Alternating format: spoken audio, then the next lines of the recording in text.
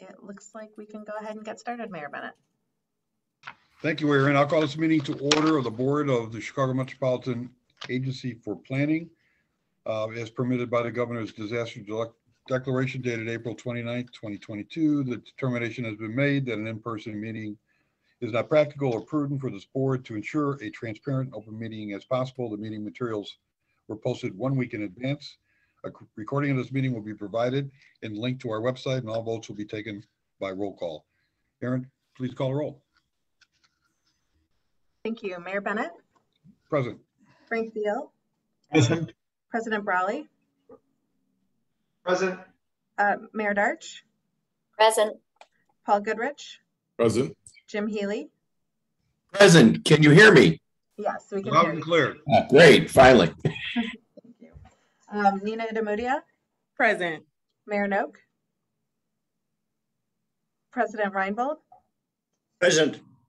uh, Mayor Rotering, Present. Stefan Schaefer, Present. Carolyn Schofield, Present.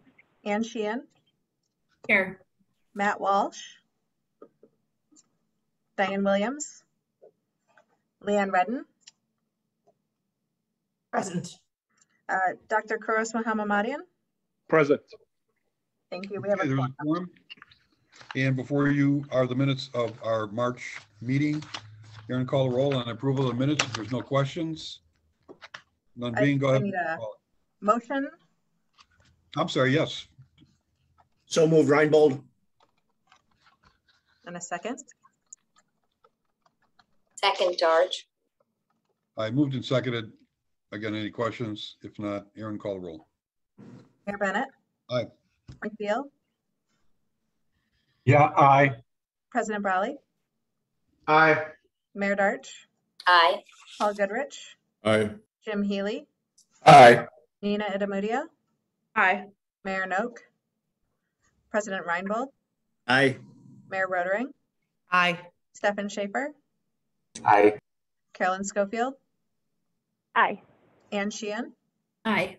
Matt Walsh, and Diane Williams. Uh, the motion carries. First item on the agenda is the Executive Director's Report. Erin. All right, thank you so much. I will um, just ask the chair to recognize that Mayor Noak has joined the call. Apologies for the Shall do. trouble getting on. So, um, getting my notes here, so I make sure I cover the things I'm supposed to cover. Um, you know, we have had a couple new key positions filled here at the agency, so I wanted to just start off by introducing them to the board here.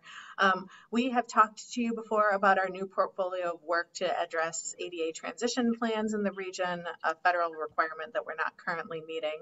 To advance this work, we've brought on a director of regional ADA planning and local safety. Linda Mastandrea had joined us about a week or two ago. She will be leading the agency's program to develop and implement around uh, ADA Title II compliance across the region and the local components of our safety action work that we've been working on. Uh, she really brings a strong experience um, that will certainly help us achieve our ADA goals. She's not only a licensed attorney, but she most recently served as the director of the Office of Disability Integration and Coordination at the Federal Emergency Management Associate um, Administration. So in DC, she was a principal advisor on issues impacting people with disabilities during, before, and after disasters. She has an extensive background in interpreting laws and rules, regulations, implementing policies, uh, and procedures and programs. So we um, are so thrilled to have her on the team. She's also a strategic visionary planner, a change agent, and a spokesperson on these issues. We are so excited to have her here and look forward to having her work with you, your councils, your organizations as we get this program up and running. We know that we need to do quite a bit of work to talk to our partners across the, the region. So if you have folks that Linda should be meeting with, please don't hesitate to reach out. I will make that introduction. Um, and she is uh, well connected to the Chicago community already, knows a number of our stakeholders. Um, and in fact, we were at the Active Transportation Alliance's annual um, meeting, and you know, I think she was reconnecting with folks like Karen Tamley from uh, who used to be the mayor's office for peoples with disabilities um, uh, director there as well. So we're thrilled to have her on board. We also have a new communications and engagement deputy executive director, uh, Jenny Vanna. Jenny is a leader in her field, brings extensive government communications and engagement and outreach experience to CMAP. Um, most recently, she led communications for the city of Des Plaines. Um, and also has served as Lake County's chief communications officer for more than 12 years. So she started with the agency in late March. We're looking forward to working with her. She's waving, saying hello. Um, thanks so much to the board members who were able to join us at the City Club on April 27th. You know, in my speech, I really talked about the future of transportation across our region, what CMAP is doing, how we are doing it, but most importantly, I wanted to focus on who we're doing it for. I talked about the tremendous opportunities with the new infrastructure law, the opportunity to make significant investments in bridges and aging infrastructure, traffic safety, charging infrastructure for electric vehicles, and innovative uses of public spaces. I also pointed out that these new funds bring in really big opportunities related to um, the mega projects, the big multi-billion dollar projects that we have in our long range plan. And those projects, you know, really aren't just one about one community or one place. They're about our economic vitality, about the movement of people and goods here. Uh, talked about the opportunity for us to think about 290 reconstruction as a multimodal project and combining that with the CTA Blue Line improvements. So in my written report that you'll receive, you'll get a link to the video of the speech. I hope that we left people inspired about thinking about how we move people across our region. Another event that I was at recently that I left personally inspired by was um, a visioning session that was held with the board of directors of the Association of State Highway Transportation Officials, or AASHTO. You know, there's a lot of synergies and momentum and alignment amongst our transportation leaders at state DOTs. We remain collectively committed to focusing on people, and I think that was one of the surprising takeaways from that meeting is that the board of AASHTO is thinking about moving people, thinking about resiliency, thinking about uh, technology, safety, climate, you know, and really our economic resiliency as well, and how we embed those community values into our visions and our planning for future infrastructure. So speaking of values and value-based plans, we are coming to a few key milestones on the ON TO 2050 plan update for late October approval. Um, later in the agenda, you'll hear from staff who will provide more details and information on this, but I wanted to highlight a few key takeaways. Our core principles identified in ON TO 2050, inclusive growth, resilience, and prioritized investment are really even more relevant today just due to the pandemic and some of the extreme socioeconomic impacts that we've seen across our region. As you know, um, the update meets our federal requirements. The purpose of the annual or the every four-year update is to adjust our data to meet our current situations and respond to adjustments in regionally significant project status. We also take this opportunity to analyze and refine the financial plan for our region's transportation system, which has changed. Um, uh, we have seen an increase in the motor fuel tax. We've seen an increase in the federal infrastructure bill. A lot of those expectations were built into the financial modeling of the 2050 plan. So it doesn't necessarily increase the over total size of the pie, but there are some positive benefits that we are seeing here and that we'll be able to accomplish a lot of our goals and, and projects earlier. This spring, we shared with you our preliminary regional socioeconomic forecast data, which included some demographic and employment projections. This data really shows that less growth is projected in our region um, from our plan four years ago. There were also some significant shifts to population projections across our region. So we continue to refine our data using some strategic and innovative approaches, but you know, we continue to utilize the evaluation framework that we had set in place for 2050 for this plan's update. As a result, uh, we've confirmed about 70 regionally significant projects in this update, totaling more than $84 billion, which we presented to the Transportation Committee last month.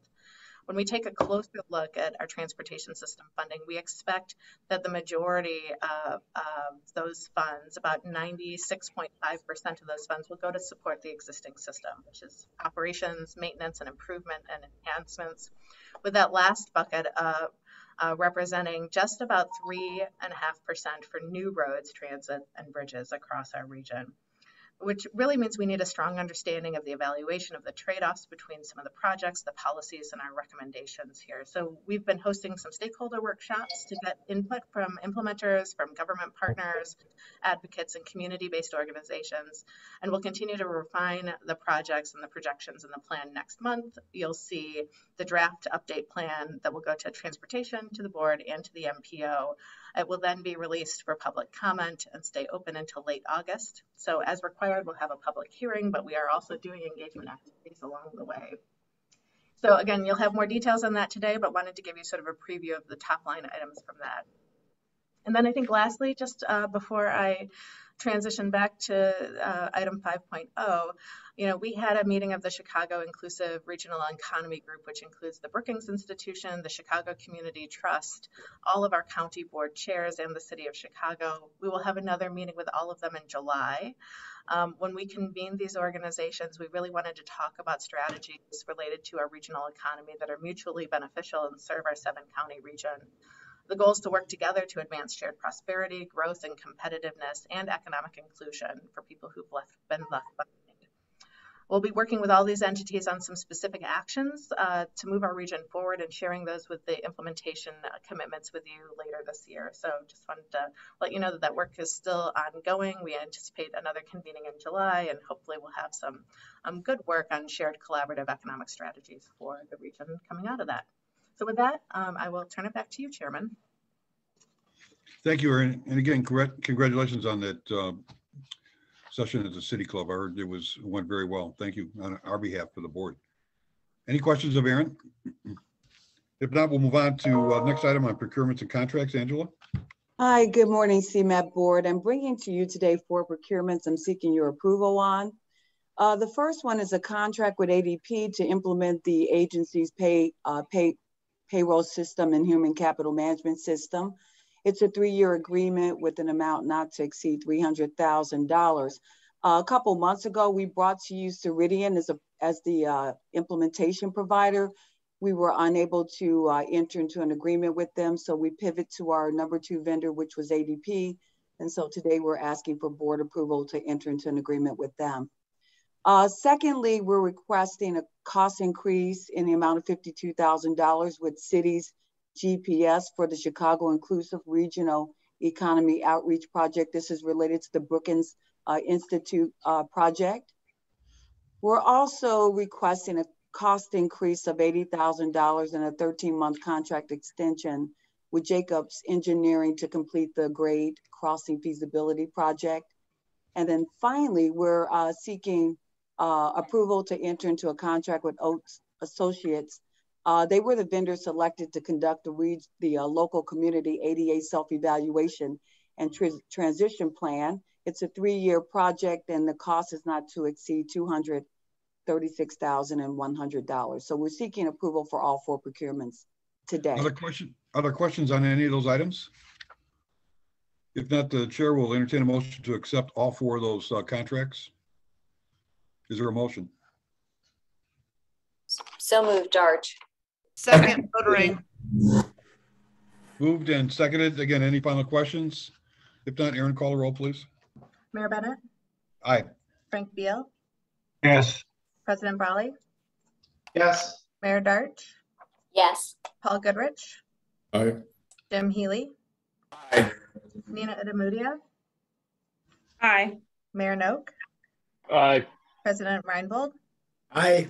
Mayor Rotering, Aye. Stefan Schaefer, Aye. Carolyn Schofield, Ann Sheehan, Aye. Matt Walsh, Diane Williams. And the motion carries.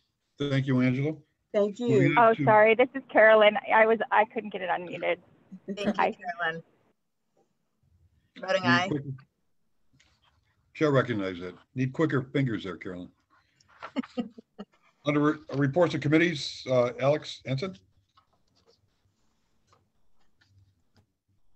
Hello, everyone. Good morning. Um, thank you, Chair Bennett. Um, I hope you don't mind that my cat's joining the board meeting. She's very passionate about civic engagement when I work from home. Um, so the um, uh, newly restructured regional and uh, regional economic competitiveness and climate committees, they met in March for the first time, and staff began to align each of the new committees to our strategic direction. Um, staff presented the agency's strategic direction and how it intersects with those committees. The committees approved the uh, 2022 work plan and meeting schedules. Staff then led each committee in a discussion on CMAP's approaches um, to increase access to economic opportunities by addressing structural barriers in areas of disinvestment, and in um, advancing strategic objectives for regional climate action. Each committee provided helpful and structured written feedback following the meeting uh, with refinements to the approaches and proposed indicators to measure progress. Um, the Transportation Committee also met um, and the committee improved um, the uh, TIP Amendment 2205, uh, Administrative Amendments 2205.1 and 2205.2. Staff provided an update on the implementation of the Infrastructure Investment and Jobs Act formula and competitive opportunities. The committee received an update on the identification of ONTO 2050 regional significant projects and the draft benefits report. Uh, the coordinating committee also met this morning um, and again received an update on the implementation of the IIJA formula and competitive opportunities. Um, and we also reviewed a new annual report format that will align with the strategic direction. Uh, this template will be used and this format will be followed um, for the working level committees and the coordinating committee to annually report activities to the CMAP board. Um, this report template, I believe, has been included in the board packet. Um, the working level committees will continue to provide uh, refinement and accountability to CMAP strategic direction over the course of the next year, with the first set of annual reports aligned to the strategic direction submitted to the coordinating committee and the board in 2023. As part of our committee restructure, CMAP is also aligning our future working groups to address the needs coming out of the IIJA legislation. We've completed our first round of assessing those highest needs and are going to continue forward with four working groups. Uh, complete streets and safe streets. This one will address active mobility, um, the new funding set aside, and other competitive opportunities. Um, we will also continue with a working group of the Transportation, Technology, and Operations Coalition, known as TTOC, uh, to address congestion, to address congestion mitigation, technology and innovations, and competitive opportunities in these areas.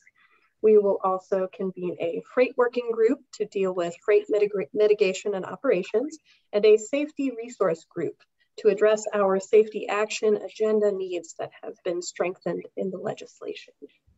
That concludes my report. Is there any questions? Any questions? I could. This is Jim Healy. Hi. I'm curious, as looking at the committee structure, we have the CMAP board, then it comes down to the executive committee, and then the advisory level consists of the council of mayors and the citizens advisory committee. I, I, just have to re- reinforce that the 800,000 unincorporated residents of, Dupa- of the metropolitan area have absolutely no representation on that level. I, I've mentioned it probably a million times since I've been on that I believe there is a role for the counties. In fact, you have meetings at the counties there, but yet at the advisory level, there's nobody there. I, I just wanted to get that across. Jim, thanks for that. I'll, I'll note that all of the county board chairs have a seat at the, the MPO committee and are appointed through that process. And so they, they do sit at that table and many of them do join us at that table. But all of the counties also have seats on the transportation committee through their DOTs working group. And the, the board members here are appointed through the counties as well. So while we don't have sort of a formal, you know, Open Meetings Act compliant council of counties, we do convene the county board chairs on a quarterly basis with their chiefs of staff or county administrators, and often they'll bring their economic development uh, groups. Um, and we have frank discussions. I think one of the things that's uh, valuable about that work is that it happens in a in a meeting that is more advisory, um, whereas the citizen, well, let me clarify my language, advisory but not Open Meetings Act. Um, required. So Citizens Advisory Committee is required per the legislation. Council of Mayors is required per their approval process of the transportation funds in our region. So I hope you don't feel like we're ignoring the committees. They do have lots of opportunities to provide and weigh in with uh, our feedback and our working plan throughout the year.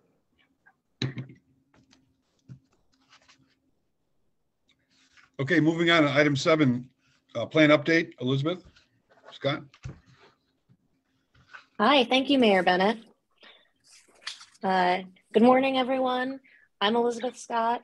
I'm a principal policy analyst in the Plan Implementation and Legislative Affairs Division uh, at CMAP, and I'm one of the people that's been helping to coordinate uh, the update for On to 2050. And in consideration of the fact, as Erin mentioned, that we're going to be coming back to you next month with a draft of the plan update uh, and requesting your approval to release it for public comment throughout the summer, we thought it might be helpful to have a little bit of a 30,000 foot um, discussion of what all is included in the plan update. Um, uh, so that uh, you'll you'll know what's coming in front of you when you get those documents to review. I mean, some of some of you are old pros, and some of you this is your first time going through long range transportation plan. So we thought a little bit of um, extra information could be helpful. So I'm going to give a, you know kind of a broad update of what all is contained in the ONTO 2050 update, and then we'll end the conversation. You know, hopefully, if you all are willing, with a discussion about um, where CMAP should go next in terms of uh, regional planning. We have uh, in the FY23 work plan scoping for the successor plan to ONTO 2050.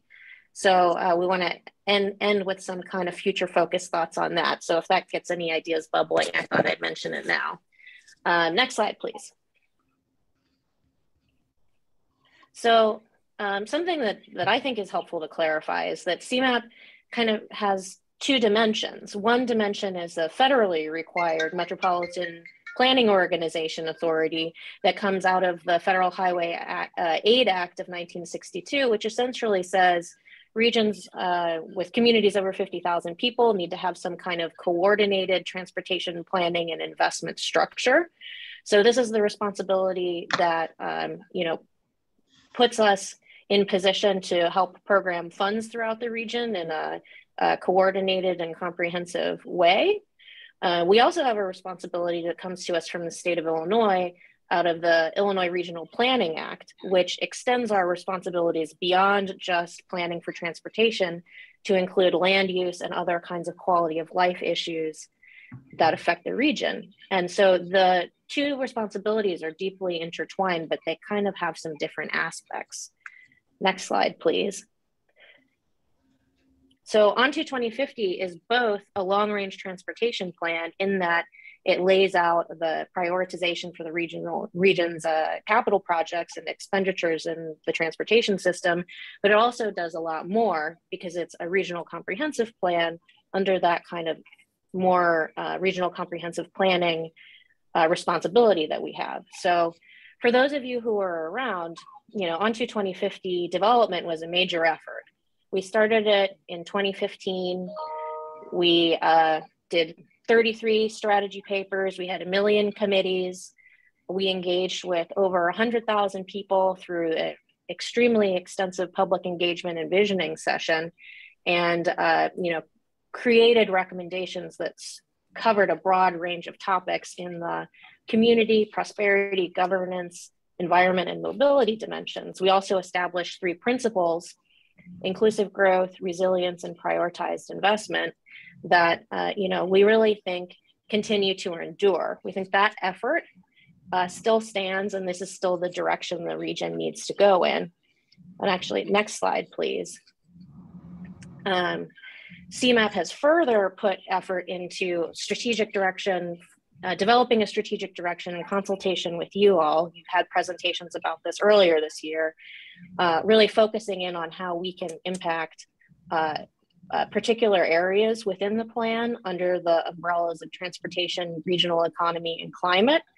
Um, and we're still committed to these, still focused on these, and we think that all of the policy work that was done for this is still good and still stands, uh, you know, for the for the current cycle.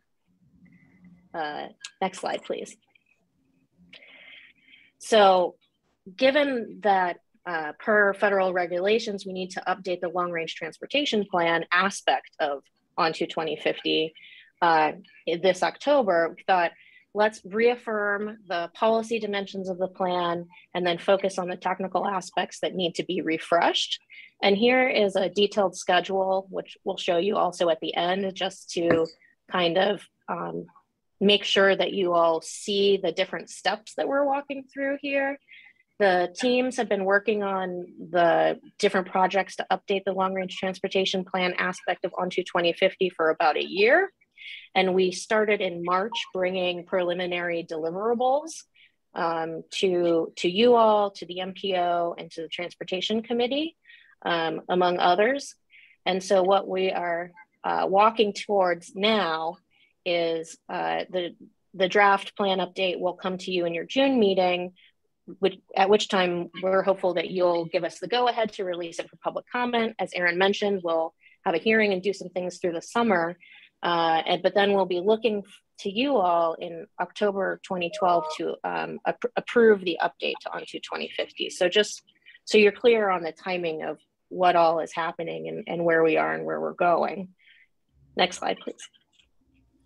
And so, so even, even though we're not doing a full onto 2050 scale major effort with this, what we are doing is still a very significant amount of work. It's hundreds of hours, multiple staff, um, and they've been doing a great job pulling together the detailed planning uh, and programming work that we need to do uh, to you know, meet our federal requirements and carry on our responsibilities uh, properly. And so today I thought I'd talk about just a couple of the interlocking elements here, but all of these things that you see in front of you are different aspects of the plan update process. So as Erin mentioned, updating our socioeconomic forecast. So how many jobs and how much population do we think we'll have in the future?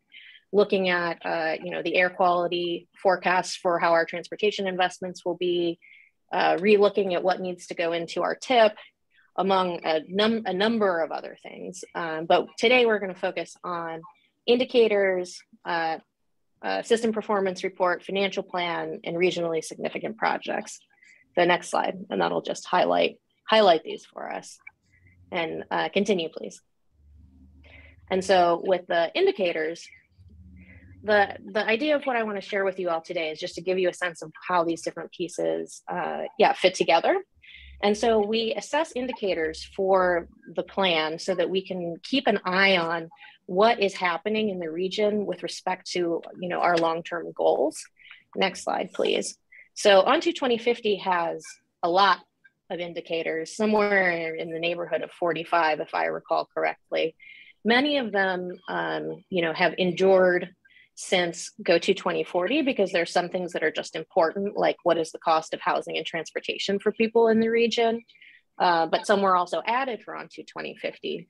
I'll also add that for Onto 2050, we also um, added something we call kindred indicators, which is in any situation where the indicators that we track could be uh, disaggregated by race and ethnicity or income, we did that so that we could get that extra kind of dimension of understanding what's happening in the region.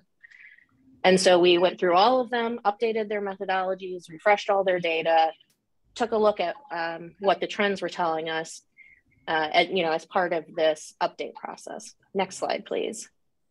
And so one example, uh, next slide. Yeah, thank you. Uh, one example of how we would use this information and, and why it's important for us to track and be aware of these things is uh, you can take a look at our, uh, num unfortunately, number of traffic fatalities chart. Uh, since 2010, unfortunately, our traffic fatalities have been ticking up. And something this group has heard, uh, heard some, some about, I believe, is how surprising it was to everybody that during COVID, we thought with less congestion, maybe the fatalities will go down. Instead, they went up for uh, reason, you know, reasons that we could discuss uh, in a presentation about our safety action agenda. But I think it has to do with uh, more trucks, uh, people being more uh, extending their weekend behavior throughout the week because people's schedules changed and things like that. But in any case, tracking this indicator lets us know that this is an important thing that's going in the wrong direction and it gives uh, emphasis to the work that we know that we need to do to uh, continue to address traffic safety issues in the region. And so we just keep a handle on all of these different things that are going on so we can understand where um, effort is most needed from CMAP and partners. Next slide. And so we also take a look at um, the condition of our transportation system overall, because that's an important input into understanding um, how much of our financial resources over the next 30 years really need to be expended in maintaining the system that we have. Next slide, please. So we're required as an MPO by the federal government to uh, make an assessment and set set uh, condition and performance targets for uh, highway condition, highway safety, system performance overall, transit asset condition, and transit safety, uh, you know, among other things. Some of these things are we also treat as indicators. Uh, next slide.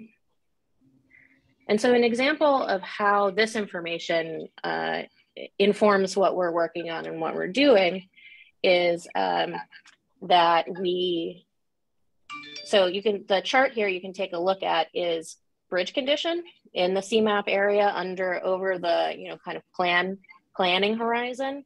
And so you can see our most recent data shows that although we have less bridge, uh, bridge deck area in poor condition, uh, like much less than we did in the 90s, overall, the amount that we have in good condition uh, is is sim is similar to like 1992, which is not great.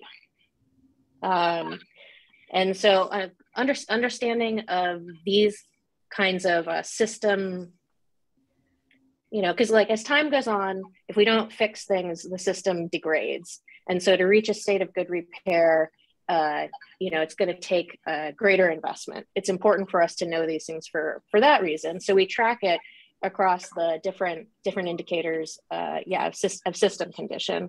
And that is an input into the next the next aspect. It's an example of an input into the next aspect. Next slide please.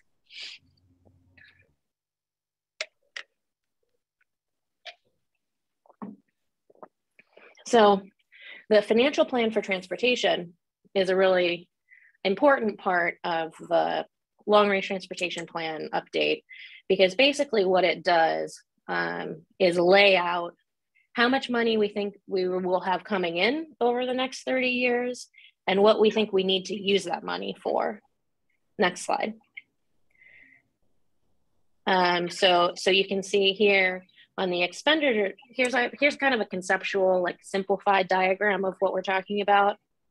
On the expenditure side, we make an assessment and uh, you know forecast of what's going to be required to operate, maintain, and reach state of good repair with the transportation assets that we have today.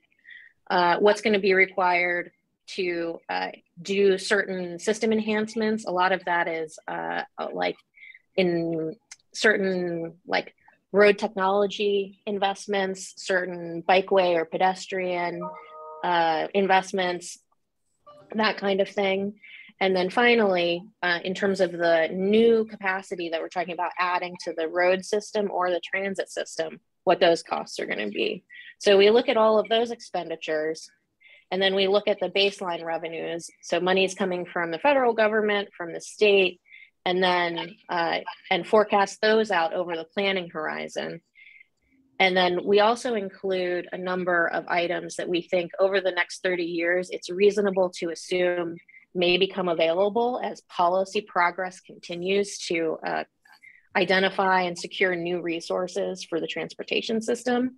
So Erin mentioned this in her opening. A great example of this is forever, CMAP has been advocating to uh, raise the motor fuel tax and index it to inflation. So that was framed as a reasonably expected revenue uh, up to ON TO 2050. And then sort of after that, uh, due to the advocacy of a number of groups, including CMAP, uh, once once that resource was secured in Rebuild Illinois, we were able to move it into a baseline revenue because it's something that we can depend on in the future. So that's sort of the role. The role of this exercise is to think about what we need and think about what we have, and then think about what kind of resources need to be um, identified and developed uh, in, in order to, to get us to the future that we know we need the amount of resources we know we're going to need in the future.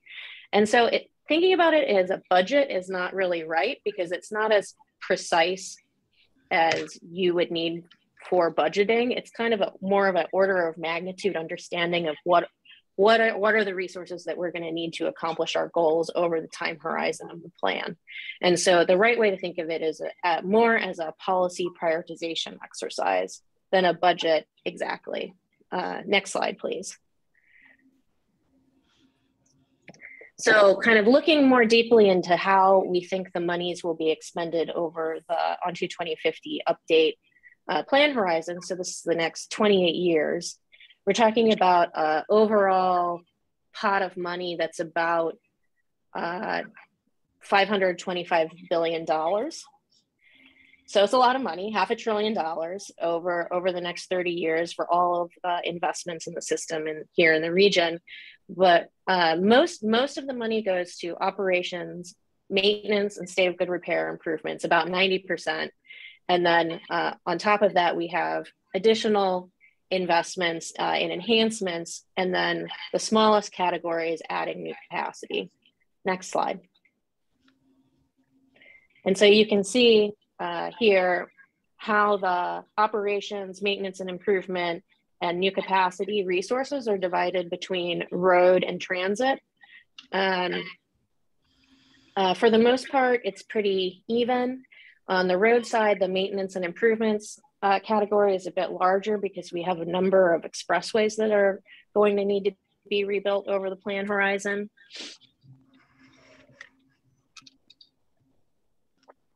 Excuse me. Um, on the new capacity front, we're expending about twice as much on transit new capacity as we are on roadway new capacity. So, so that's the you know sort of planned use of those resources. Next slide, please.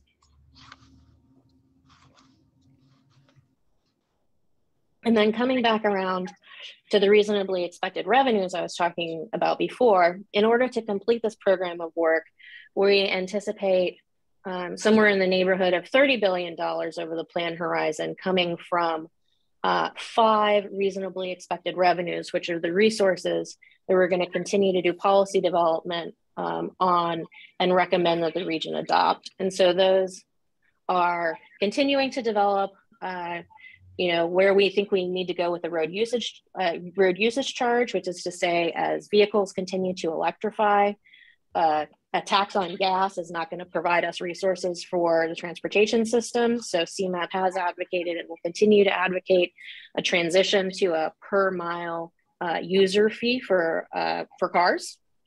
Uh, we are talking about an, uh, extending the sales tax base in the region to include additional consumer services in line with what other large states do. Uh, we're talking about establishing a regional transportation network company fee. So that would be a fee on Uber and Lyft. There already is one in the city of Chicago, but that could be a region wide um, initiative. Uh, further, we're talking about as our highways are reconstructed, looking at different kinds of ways to uh, toll, toll those roads to both manage congestion and contribute resources to the transportation system. And then finally, we'll continue technical assistance and policy work to help communities throughout the region expand the use of price parking, particularly in uh, Main Street areas where it can assist with economic development. Uh, and so together, that's kind of the picture on the financial plan for transportation. Next slide, please. And so like, what are, what are we gonna do actually with the expansion resources here? Um, that is where what brings us to the regionally significant projects kind of section of the plan update. Uh, next slide. So a regionally significant project, uh, it, which is something that we define in the plan development process, excuse me, is a major regional scale transportation project that either um, costs $100 million or more and expands uh, capacity on the national highway system or uh, fixed fixed rail fixed route transit or just costs $250 million or more regardless of the facility or work type. So that could include um, highway reconstructions for instance. Next slide and so um, what happens in terms of how we determine the capital investments is uh, projects are proposed to CMAP generally by implementers like IDOT, CTA, PACE, Metra, the county DOTs, or CDOT. um, we take the proposals in, into, into our research analysis and programming team and evaluate them across uh, 30 metrics that relate to uh, the, the goals articulated into the ON TO 2050 plan. Um, the projects that are uh, greenlit to move forward enter what's called a constrained list.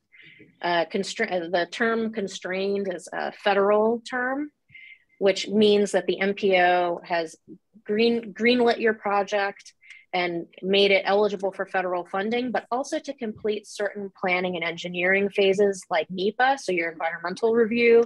These are um, pre-construction activities that are required for projects of this scale and without being constrained within the C CMAP's long range transportation plan list that can present uh, challenges for plans for projects to move forward. So that's kind of like why we why we look at it, why we do it, why we evaluate them, why we go through an iterative process with the implementers to come out with a total um, program of projects that we put under our fiscal constraint in line with the financial plan for transportation uh, and that gives us a portfolio of projects to move forward in the uh, over the plan horizon. So next slide, please. And then another important thing to understand is that because this process is updated every four years, there is from plant from long range transportation plan to long range transportation plan a certain amount of iteration that happens and so we wanted to give you a couple of examples to illustrate how this can look under different scenarios. So for instance, you uh, we have uh, four, four projects, which are real projects, but in order to not call anyone out here, we'll just put them as speculative projects. Uh, project A uh, is, I believe, a transit project that was introduced actually in GO TO 2040. And because the um, actual project development road for that is really long. They came in that plan. Uh, the implementers resubmitted it for the 2040 update. They resubmitted it for 2050. Uh, and then in between uh, the 2050 plan and the 2050 update, they began construction on, on the plan. And so throughout that process, the target year of construction, the amount of money that it would cost, all kind of shifted as the implementers continue to get a more um, detailed understanding of what it would actually take to complete the project.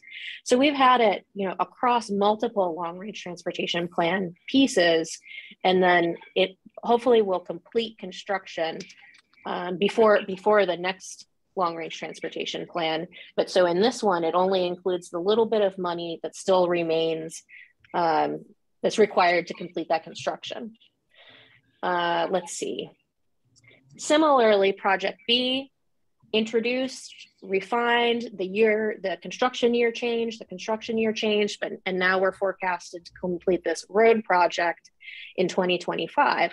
Project C, on the other hand, was brought to us uh, as an arterial that was brought to us by an implementer for ON TO 2050. And as they proceeded through the pre-construction planning work, so engineering, trying to understand how this was going to look, um, decided not to proceed. But they needed to be a constrained project in order to proceed through those phases of project development, even though they decided um, not to proceed with the project ultimately. And so the project wasn't resubmitted for the 2050 update. And then finally, Project D is a very long range thing, which we think is going to happen in 2040. So it is uh, was extremely speculative in the GO TO 2040 update and has been continuously refined by the implementers and likely will continue to be refined, um, you know, over time as we move towards the uh, kind of D, D day for that project. So the point is that within the projects that are submitted to us, there are some projects that are in the very, very early stages, un, unformed, and then there are some projects that are about to go shovel in next year. And and there and we have to figure out a way to kind of treat all of them within the context of our federal responsibilities that have to do with programming. Uh, next slide and so in this plan update uh, we have 75 regionally significant projects 25 transit projects those are the blue and green ones 24 expressway projects, that's purple, and uh, 26 arterial projects. And so you can see that there is uh, work being funded through this portfolio in every part of the region, but a lot of it is investments um, in, in our legacy system. Uh, next slide. Uh, some of I wanted to give you a couple examples of the kinds of things that we're talking about here. So one project that's that's very exciting that came to us for the first time in this cycle is uh, PACE is proposing to um, do some uh, work work on along 294, wherein they will uh, create, you know, kind of like evolve their former toll plazas into bus rapid transit stations. It will include so phase Phase one will include two stations at the O'Hare Oasis and Schiller Park and uh, Cermak and Oak Brook. And phase two and three would include three additional stations in Chicago Ridge, Schaumburg, and Alsip. And so basically this would, would create bus, bus collectors uh, in these toll plazas and then let people kind of go in along, along in a pace bus north to south along the tri-state. And, and so this was introduced for the first time, including it in the constrained list will allow it to proceed along project development. Uh, next slide, please. And then another big one we that is a that is a part of this is uh, many IDOT reconstruction projects, including reconstruction of uh, multiple highways. So will include pavement rehab, bridge reconstruction, interchange improvements, bus on shoulder implementation, and in some case the in some cases the addition of managed lanes. Uh, this is, I believe, the Bishop Ford here, which is part of uh, part of the portfolio of things to be uh, reconstructed over the plan horizon. So that just gives you a taste a taste of what exactly we're talking about when we talk about these projects. Uh, next slide. So, uh, you know, the staff is busy at work completing these uh, update activities, you know, trying to have a good understanding on all of the technical pieces that we need to do and work with the implementers to have the uh, best portfolio of projects we can going forward. But it also means that we're thinking about, um, you know, the what we need to do to get through public comment, what we need to do to bring this long range transportation plan to adoption in the fall. But we're also thinking about the next plan, as I mentioned at the beginning of the presentation. Uh, next slide, please. So reminder, uh, in our, at your next board meeting, we will be asking you, we will we'll share with you a, a narrative that kind of encapsulates, it summarizes all of the activities that we've been doing and contextualizes the plan update um, in terms of what's been happening in the region with COVID over the next couple of years, and then gives you all of the appendices for the individual projects that we're, we've relied on to develop those um, long range transportation plan set of recommendations. So that'll come to you uh, for your in your packet for your next meeting. We're hopeful that you'll be comfortable for us to go into the public comment process. And then as a reminder, we'll summarize all the comments we received. We'll uh, give an update of how we've treated them. And then we'll be looking for you in the fall um, to hopefully uh, adopt the plan. And so that's, that's just a reminder, that's where we're at. But also in the summer, what we're going to start, as I mentioned before, all two is scoping, uh, scoping for the successor plan to ON TO 2050. So next slide. Um, we have been having, oh, thank you, Mayor. Appreciate it. Uh, we, as Erin mentioned, we've been having um, quite a few roundtables with both uh, advocates and community people uh, and public sector officials of different kinds. Uh, tomorrow, we're having a roundtable for the general public to get kind of their impression on some of these things. Uh, and, and what we're starting to think about is where do we need to go next? We know that uh, telework is changing a lot of things in the region, and we have to think about how our communities need to evolve, our policies need to evolve, perhaps our investments need to evolve uh, evolve because uh, you know because of the way people how people move around is changing. We know e-commerce is a huge factor uh, in what's happening in communities. We know people are concerned about warehousing and uh, the land use uh, issues that come with that. But we wanted to hear from you today and have a little bit of discussion um, about what you what you would like to see CMAP do that's forward looking, that is developing new ways of thinking. Are there problems that weren't weren't uh, kind of directly addressed in on 2050 that you think need to be addressed now? We wanted to spend a little bit of time brainstorming with you all about where we should go for the next plan. And so that uh, concludes my presentation. I like to show a nice rendering. We have them. Uh, yeah, if anyone has any thoughts or also any questions about any of the information that I shared, I'd be more than happy to try to answer them. But but really, I'd love to hear um, what you think would be most helpful for us to begin to look at and get into as we're starting to think about where we go uh, here. Because four years from now, ON TO 2050 will be eight years old, and that's too old. So Thank, thank you, Elizabeth, Thank you. for walking the board through our process. I think we, we know that it's been a while since we've been through the 2050 process, but you know, really this update process is a stepping stone. It's evaluating where we have been in the region, what we've accomplished in the 2050 plan, and then, like Elizabeth said, recognizing that so much has changed in four years, probably more than would have changed in a normal four years, um, and what tools, policies, um, work do we need to be doing collaboratively as a region to think about the future? So it looks like Leanne has comments, questions. Go ahead.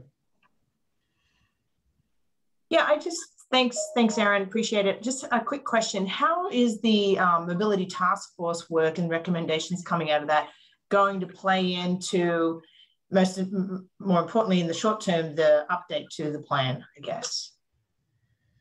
That's a very good question. Uh, so, as many of you uh, may be aware, we also have a concurrent project that explores the impacts of COVID to the transportation system and is thinking about what kinds of uh, policy moves and investments we need to make to successfully uh, secure the transportation coming out of COVID, considering some of the changes that have happened. And so, how we have, because we had to go out for public comment with this document in June, and we're still substantially within the policy development process for the mobility recovery. I think we're envisioning them as being uh, happening in parallel, and that the emphasis in terms of new policy development will be on mobility recovery, but that uh, the plan update will leave open context for that and indicate that it's important. So we see them as, as lightly paired, but uh, that considering the timeline, I don't think it's critical for them to be closely joined. Well, I think too, just to build off of that, Elizabeth, is that the Mobility Recovery Task Force has been meeting to suss out what do we need to change, and I think we want to use that as uh, grounding for what the policy platform needs to be building into the 2060 plan as well, because there will be some short th- term things coming out of that that we can change in the near term and advocate for as a region. But there are probably going to be some long term things that we're going to need to then just use that as research that helps support the 2060 plan development, if that makes sense. Other questions, comments?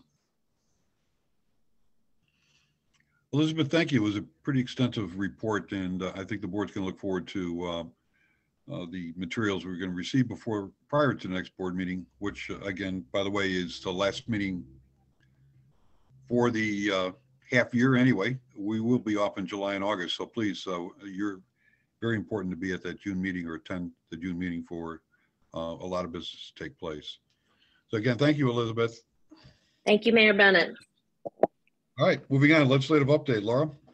So I am going to pinch it for Laura here this morning on the legislative update. Um, the Illinois General Assembly adjourned on April 9th after passing a budget, the budget implementation bill, and a tax relief package. You know, the package included a couple things that I wanted to share with you all and just emphasize that are relevant to our work and our work with our government across the region. I think first, um, you know, directly impacting CMAP, the generally assembly, generally, the General Assembly passed legislation requesting that CMAP work directly with RTA to develop and submit a report of recommendations to the state that talks about potential changes to the recovery ratio, sales tax, governance, fare structures, and any other items that would ensure the financial viability of the region's public transit system. Uh, it also stated that the report should address racial equity, climate change, economic development, um, and public engagement. Um, CMAP is required to have those recommendations adopted by the policy committee, the MPO committee, and delivered to the state by the end of 2023. I know, Leanne, our teams have been working on hard on trying to figure out how we scope this, where we might need consultant services to support us in some of these initiatives. Um, but we have already sort of hit the ground and are working to, to figure out how we deliver this report to the General Assembly by the end of 2023.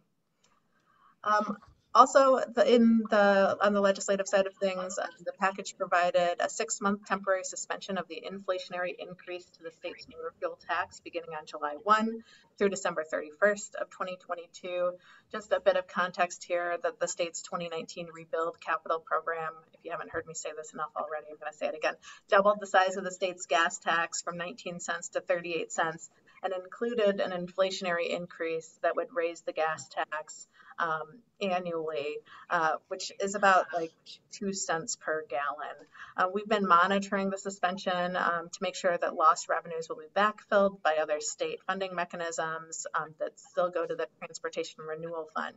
And the important thing about that is the Transportation Renewal Fund, unlike the Road Fund, has a dedicated, has created a dedicated mechanism to get transportation, those motor fuel taxes um, to transit in our region, which is also an important part of the Rebuild Illinois um, bill. Um, another piece of legislation that passed that impacts local governments would exempt local governments from the GATA requirements for awards, including capital appropriated funds made by IDOT to local governments for transportation projects utilizing either uh, state or federal funds. So I know that that was um, well received from our government partners. Um, two other pieces of legislation were approved that would allow IDOT, the tollway, and the counties to pursue a design build delivery method to expedite project delivery process. Currently, they use design bid build delivery method where the department designs a plan in-house, reviews bids from contractors. Design build really expedites that process by allowing a single entity to do both the design and start the construction. So you can sort of overlap the land acquisition at the same time as you're finishing up the design. And so it just expedites the process project delivery. Um, projects that use this method would be capped at a total of $400 million at the state um, at the tollway level and would allow counties to make a two-phase design build selection process into one phase for smaller projects under $12 million. Um, related to our work on fares, fines, and fees and transportation, um, the state's earned income tax credit was increased from 18% to 20% and expanded to include eligible taxpayers between 18 and 25 years old and people over the age of 65 that would otherwise qualify but don't have children. So in our Fines Fees report that we had uh, put out oh, about a year ago, expanding and increasing this tax credit makes the income tax system more progressive and is a strategy for mitigating against the regressiveness of transportation fines, fares, and fees. And then just a couple other notes on local government updates important to our government partners. The local government distributed fund was increased slightly from 6.06% to 6.16%. I know that our local partners have advocated this uh, for, for years for that to return to 10% as it was in 2011. It's the right direction. It's probably not enough, but um, again, wanted to highlight that that happened for those of you uh, care about those issues.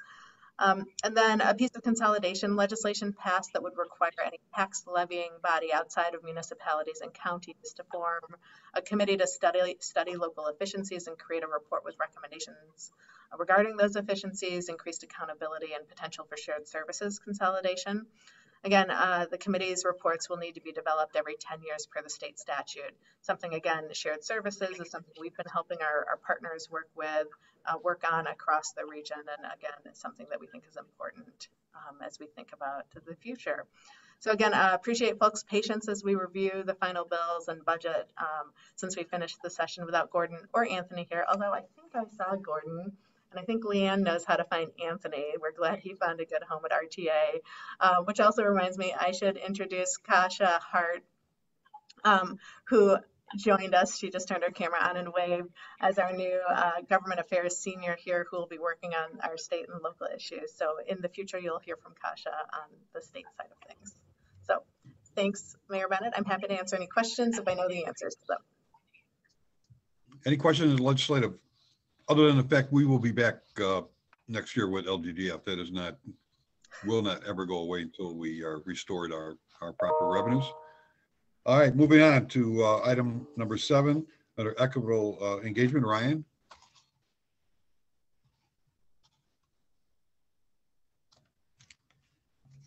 Hello, my name is Ryan Tomto, and I am the project manager of CMAP's Equitable Engagement Program. Today, I will provide a brief update on the design of this program and discuss the next steps. Since the adoption of ON TO 2050, CMAP has been looking for ways to more extensively and more meaningfully engage with people who have historically not been at our decision-making tables. Study after study has shown that planning and policy efforts are more impactful and successful when more people, and particularly the people most directly impacted, are involved in co-generating solutions to local and regional problems. Governments at all levels have influenced distribution of advantage and disadvantage in American society. As a region's metropolitan planning organization, or MPO, it is important for CMAP to recognize the past and present roles the agency has played in producing and perpetuating practices that harm marginalized communities. Without intentional intervention, institutions and structures will continue to perpetuate inequities. CMAP has the ability and responsibility to implement policies that combat the effects of bias and discrimination and to promote inclusive growth. Moreover, CMAP's core federal responsibilities connect to this work. Environmental justice is a federal requirement of federal, state, and local agencies and has legal basis in the civil rights and environmental laws, executive orders, and regulations shown here. The overarching goal of this equitable engagement program is to overcome barriers to more equitable engagement in order to drive more equitable outcomes and opportunities for everyone across the region. To achieve this goal, CMAP will work to build stronger relationships with environmental justice communities through sustained engagement with community organizations in CMAP's long-range planning and programming activities. CMAP will provide financial compensation to organizations for their time and expertise. This work will supplement CMAP's existing engagement activities. Last year, CMAP selected the Center for Neighborhood Technology or CNT, to co-design and implement a regionally representative engagement program. The CMAP project team consists of 10 staff from all five of CMAP's divisions to ensure a variety of perspectives are brought to the table. The budget for this project is $548,000. Last year, CMAP was awarded a statewide planning and research program grant from the Illinois Department of Transportation that funds 80% of the total cost. The development of the program is divided into four tasks. The first task has been underway for the past year. During this time, 15 workshops were held with the CMAP project team to develop the program. In addition, an advisory group comprised of leaders of community-based organizations that serve historically marginalized populations have been engaged through a series of four workshops and multiple one-on-one consultations.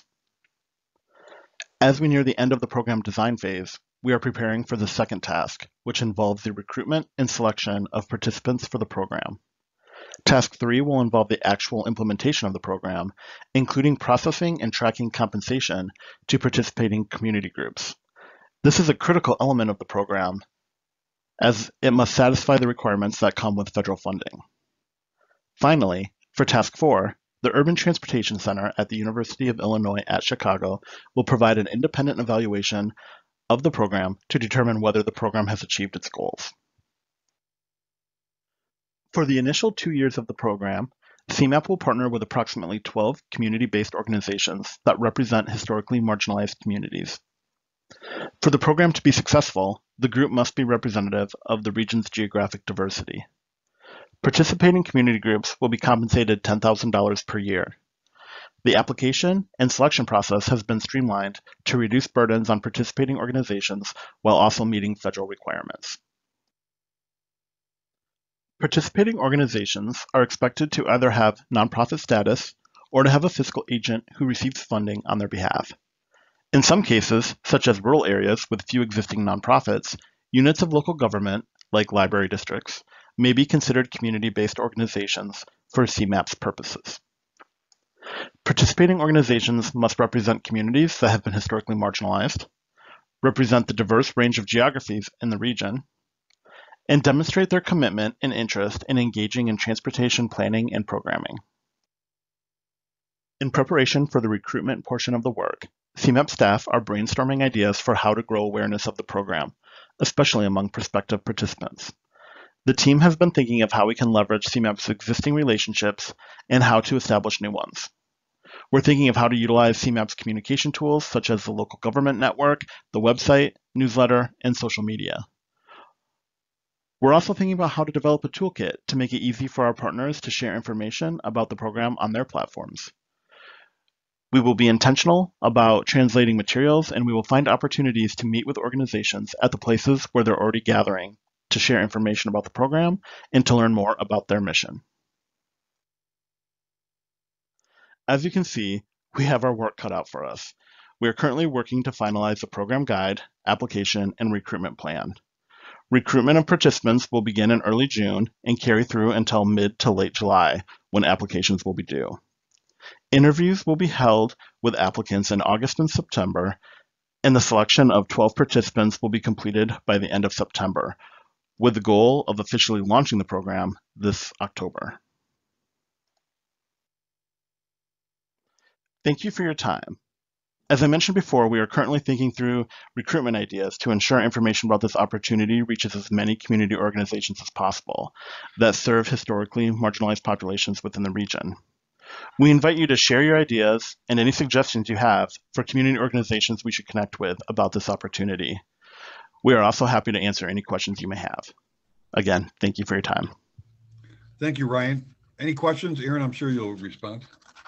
Uh, yeah, well, it looks like uh, Mayor Rotering has her hand up, so we'll start there. Great, thank you. Um, first of all, I just want to really applaud this entire presentation and really appreciate the the, the thinking, the sentiment, and the mission that's been presented to us today. Um, I had a thought uh, when Elizabeth was giving her presentation, and I'd like to ask that that lens be placed into this as well. And that is, you know, as we look at the costs of providing resources for our roads and our transit systems. I want to make sure we're not regressive in our thinking. I want to make sure we're not penalizing folks who, because of lack of affordable housing and other opportunities to live close to the places of their employment, that they are then uh, suffering a disproportionate burden. So I just wanted to share that um, in connection with both this and the earlier discussion about resources. Thanks. Thank you, Mayor. Other questions? Thanks again. We will move on to other business. Any other business before the board, uh, Erin, that we know of? No other business. Thank you. And I saw that Angela sent out a memo to the board members about their evaluations. They need to get those in ASAP. If you haven't done that, please do that. Yes. Under pub- Under public comment, any public comment, Erin? We have heard from a Kim Stone um, who has raised their hand. Thanks, Kim. Um,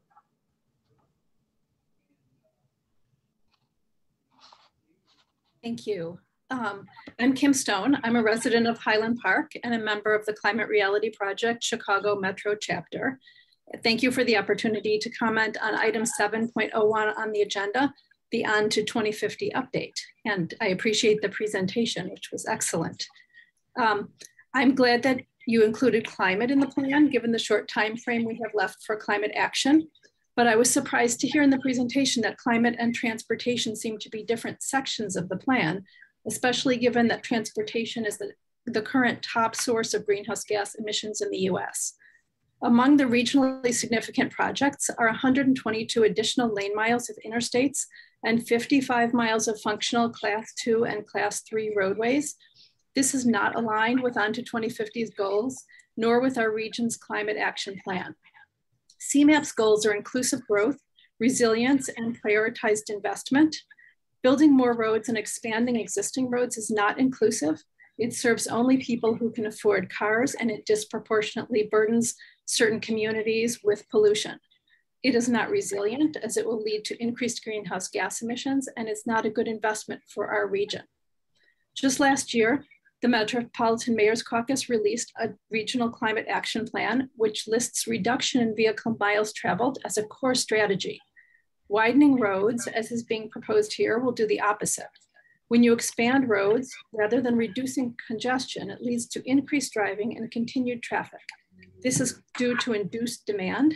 As supply increases and incurred costs decline, demand increases. This phenomenon has been widely observed and studied in transportation systems where highways have been expanded to alleviate road congestion. The shift calculator um, is one, one method to accurately calculate the impact of road expansions being proposed in our region. In addition, road expansion will increase maintenance needs, which are already a tremendous burden for our region, as was shown, for example, in the assessment of bridge condition in this presentation. Climate change is causing larger and more severe storms, which also increase maintenance needs on existing roads. We must start actively promoting bike and pedestrian improvements as an explicit regional priority for climate and equity. We could build hundreds of miles of bike lanes or sidewalks for the cost of one arterial widening project. Bike and pedestrian projects have also been shown to increase safety for all road users, which is especially important given the indicators of safety that were included in the presentation earlier today. Regionally significant projects should encompass projects that improve our regional transportation network as a whole. We should be asking how these projects better connect people to where they need to go, whether they improve safety and equity, and if they will help us meet our climate goals. Our region needs to be considering these factors when we decide how limited transportation dollars are allocated.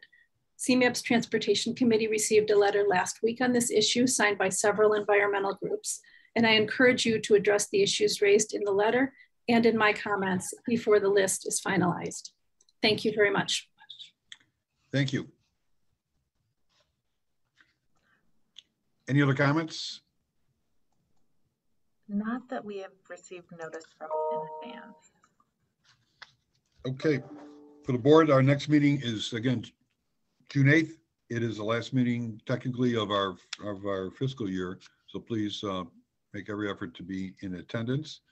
The executive committee will meet next and we have moved from GoToMeeting to meeting to Zoom. So please make sure you have that information when we conclude this meeting so you're able to get on to the uh, executive committee meeting. With that in mind, Erin, there's nothing else I see here. You want to, is there a motion to adjourn? So moved, Rotering. Second, Darch. Okay, moved and seconded. Erin, call the roll, please. Bennett, Aye. uh, Frank Beal, Aye. President Brolley, Mayor Darch, Yes. Paul Goodrich, Aye. Jim Healy, Nina Idemudia, Mayor Uh, Noak. Aye, sorry. I'm sorry, Couldn't find my button. Yes, aye. Mayor Noak, Aye. President Reinbold, Aye. Mayor Rotering, Aye. Stefan Schaefer, Aye. Carolyn Schofield, Aye. and Ann Sheehan. Thank you, Carolyn. Aye. Matt Walsh, Diane Williams. Motion carries. So you guys can. leave Motion the- carries. Thank you all. Uh, enjoy the rest of this beautiful day and we'll uh, see you in one month. Thank you very much. Thanks, everyone. You. Bye, everybody. Bye. Thanks, everyone. Bye-bye.